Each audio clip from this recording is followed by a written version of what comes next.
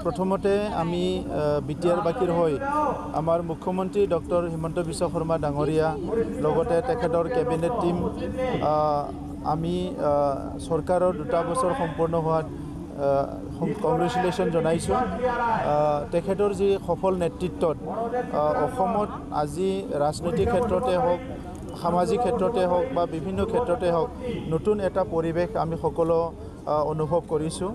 আৰু এইকাৰণে আজি সকলোৰে মুখে মুখে আহিছে কি তেখেতে দুবছৰ আগত নহয় বহুত বছৰ আগত যদি অসমৰ নেতৃত্বত দায়িত্বত পালেহেঁতেন অসম কেতিয়াবাই মানে ভাৰতৰ ভিতৰত এখন উন্নত ৰাজ্য হিচাপে গঢ় লৈ উঠিলেহেঁতেন। তো ঈশ্বৰে তেখেতক দায়িত্ব দিছে। আমি আশা কৰিছোঁ তেখেতে ভাল এটা সুস্থ শৰীৰ লৈ আহ, আমাক সদায় নেতৃত্ব দি যাওক সেইটো আমি বিচাৰিছোঁ।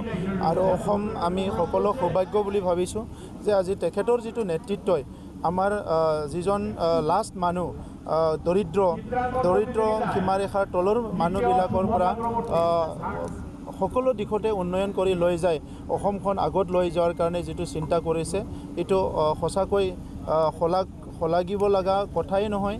এইটো আমাৰ কাৰণে এটা ঐতিহাসিক এটা চিন্তা বুলি মই ক'ব বিচাৰিছোঁ। ইতিমধ্যে অসমৰ ইনফ্ৰাষ্ট্ৰাকচাৰ যিটো গেপ আছিলে এইটো পূৰা হ'বলৈ গৈ আছে।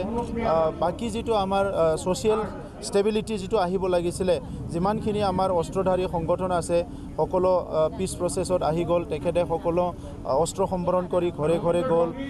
আনপিনেদি আমাৰ স্কুল কলেজৰ নতুনকৈ মানে কিছুমান পলিচি ইতিমধ্যে আপোনালোকে দেখিবলৈ পাইছে।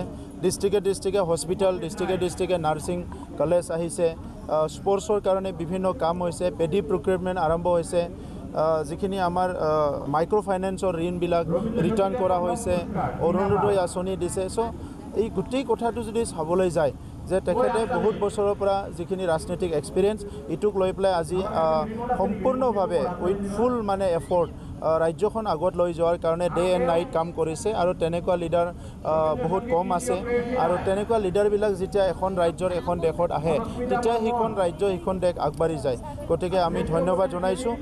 B J P A J P আৰু ইউ পি পি এল দুটা বছৰৰ যিটো চৰকাৰ সেইটো বহুত সফল হৈছে। ইয়াৰ কাৰণে আমি আমাৰ তৰফৰ পৰা প্ৰশংসা কৰিছোঁ। আৰু সেইকাৰণে আজি দেখি পেলাই ভাৰতবৰ্ষৰ বিভিন্ন কাম কাজত আজি দেশৰ নেতৃত্বই আমাৰ মুখ্যমন্ত্ৰী ডাঙৰীয়াক ডক্টৰ হিমন্ত বিশ্ব শৰ্মা ডাঙৰীয়াক আমি দেখিবলৈ পাইছোঁ যে বিভিন্ন কামত আজি তেখেতক দায়িত্ব দিছে।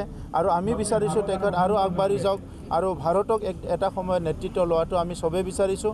গতিকে আজি দুটা বছৰত আমি যিখিনি পাইছোঁ স্বাধীনতাৰ পিছত এইটো কোনোদিনে আমি অনুভৱ কৰিব পৰা নাছিলোঁ বা তেনেকুৱা এটা পৰিৱেশ আমি কেতিয়াও দেখা নাছিলোঁ।